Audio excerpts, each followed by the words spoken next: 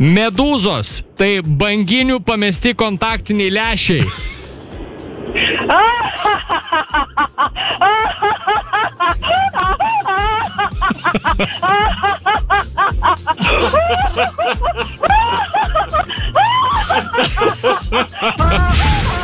Oi, čia Žiūrėkit, ir dar būtų asilo pagalvojau. girdėjau. Rutelė, rutelė. Rutelė. Jau viskas, jau gali atsistoti. Nuostabu tai buvo. Vien, vienu metu, kaip iš pats baisiausias filmas, žinai, ta, kur buvo. Pop, top,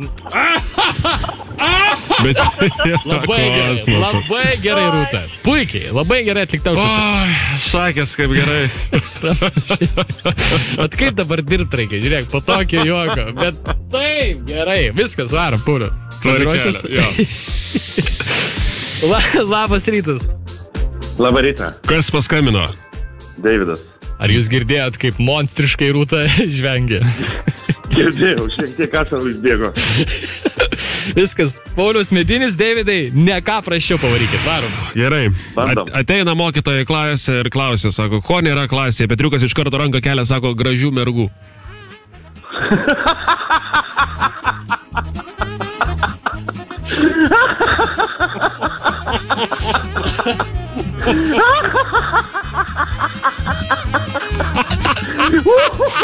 Bravo! Ne, čia yra kosmosas, klausykit, nerealu.